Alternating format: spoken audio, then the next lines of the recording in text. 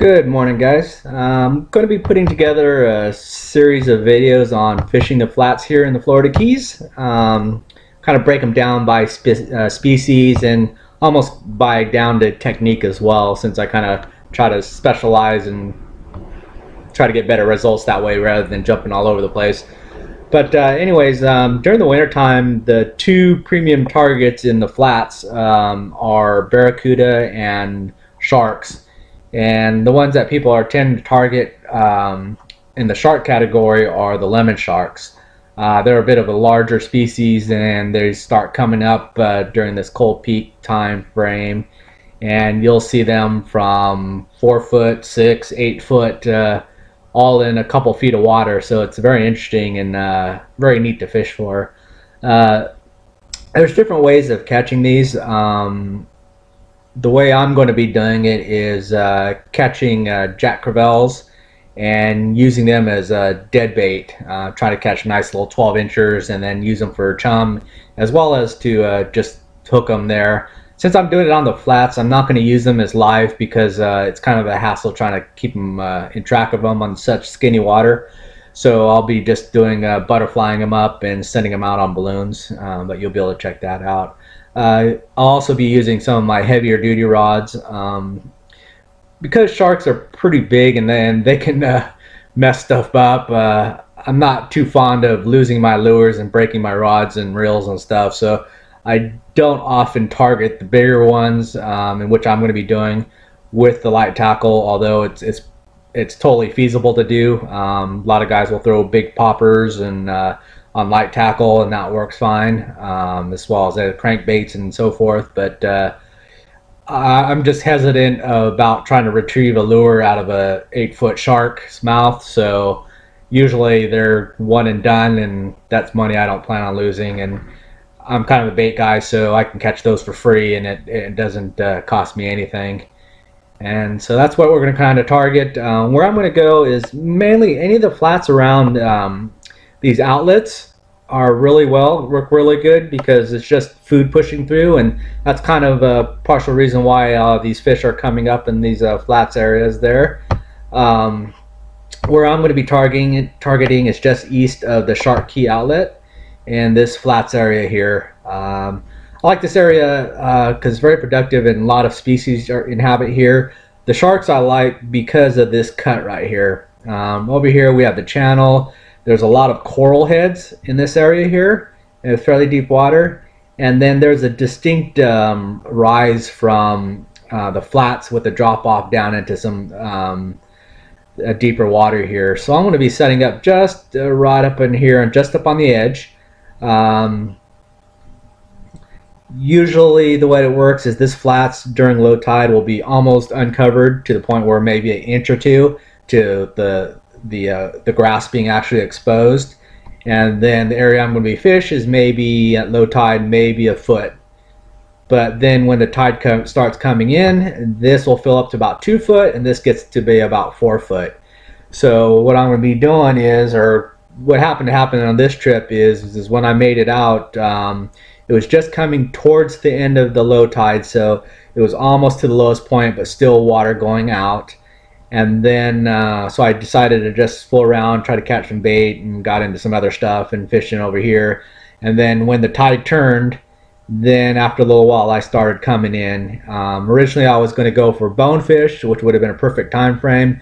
But by the time the evening came, the clouds moved in and uh, it got kind of darkish, and then it, it's virtually impossible to uh, sight fish when the uh, clouds are uh, covering the sun, and then it was towards the evening time, and the sun was going down, so what sun there was was glaring, so it just wasn't really a good time to do the bonefish. So I just stuck with the sharks. But uh, anyways, that's the ticket. Um, it's a great, great, great thing to try. Uh, if you're just coming down here, you don't have to go very far. Um, just chum them up. Use uh, uh big circle hooks with a wire leader, and try some big chunking baits and just chunk them out there and these are big sharks so you can kind of paddle around if you could stand up it's a much better and just look for these big scary uh, shadows moving through the through the uh, shallows all right well anyways uh, check out the video thanks Uh, the first step is to catch bait. I'm targeting a Jack Crevalle in the shark channel. I'm using these uh, little gulp uh, jerk shad. Of course, the first uh, cast out and I hook into something massive. Uh, goes straight down. Um, I, I'm thinking it's a snag, so I pedal on over there to try to free my lure, get right above it, start jerking on it, and then this big ass eagle ray jumps out probably 20 feet away and then starts jumping and flying right towards me. And you can see in the water the foam, there's three distinct uh, puddles where it was coming right at me. Scared the crap out of me. And then another half an hour of fighting that stupid thing, trying to get my lure back.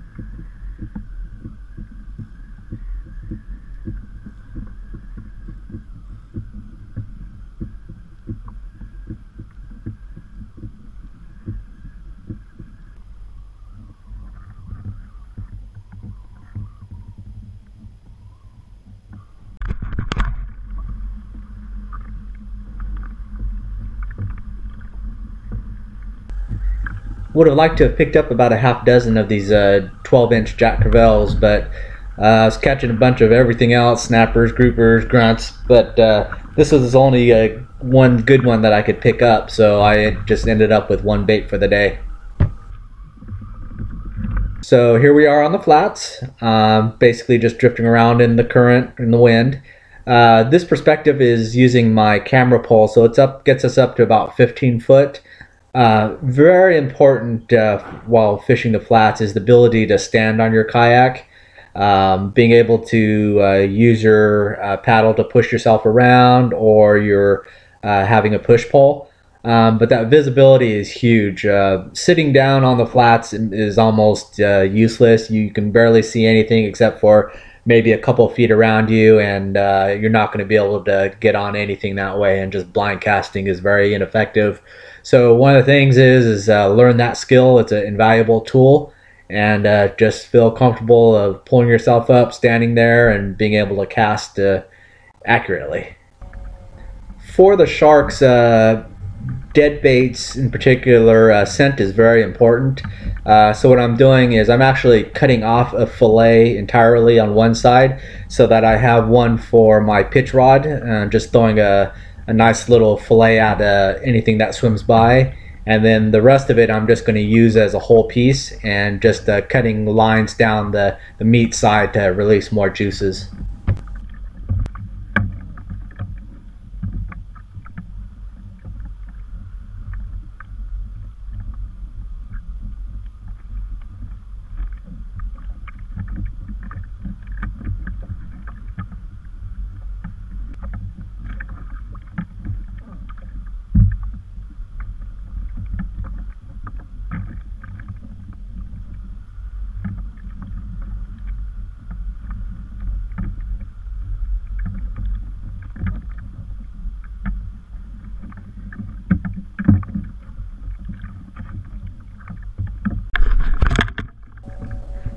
Soon as I got there, there was a pair of uh, six and seven footers uh, just kind of cruising by occasionally. So I wanted to just to have that pitch rod to be able to see if I could uh, get one uh, hooked up that way.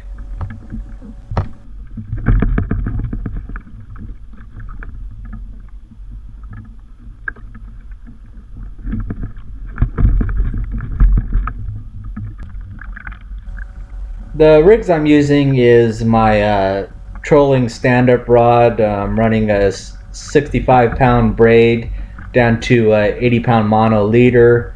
Um, I've got about a 70 pound uh, stainless steel leader. Um, this one happened to be um, my rig I use for uh, kingfish. So it had a, uh, a, large circle hook with a, a uh, stinger treble on the back of it. Um, good generally for uh, larger uh, live baits, but since it was on the pole already, I just kind of used that. And then using a balloon to uh, float it across. Just blow up a regular balloon and then tie it on the line at the approximate height that you want the bait to float down at.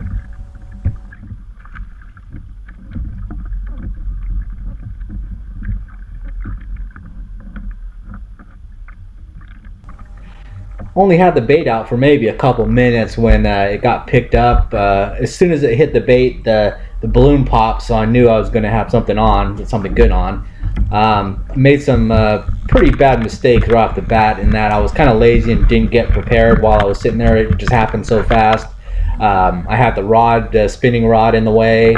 Um, I uh, didn't have my um, uh, detachable release anchor all ready to be just thrown off. I had it kind of tied off instead of just loose so I could flick it loose. And the biggest mistake was that I didn't have the Mirage drive in and ready to pedal. So what happened is, is the shark picked it up and start running um, backwards and to my right. And what happens is as soon as I put the uh, drag on it, it started pulling the drag, but I couldn't get the front of the kayak pointed towards it so I could take some of the stress off. And then if you watch the uh, lever drag, I, I, put too much drag on it and um, I shouldn't have. The problem was that in that short time frame, it ran off about 300 yards of my braid and I was down to the uh, the backing already on the reel, so I kind of over uh, dragged it and then it uh, stripped the hooks. Um, so just kind of rookie moves. You just got to kind of have your when you're dealing with big fish. You just got to have your uh, all your stuff ready to go because uh, any anything weak points will will just uh, glaringly show up.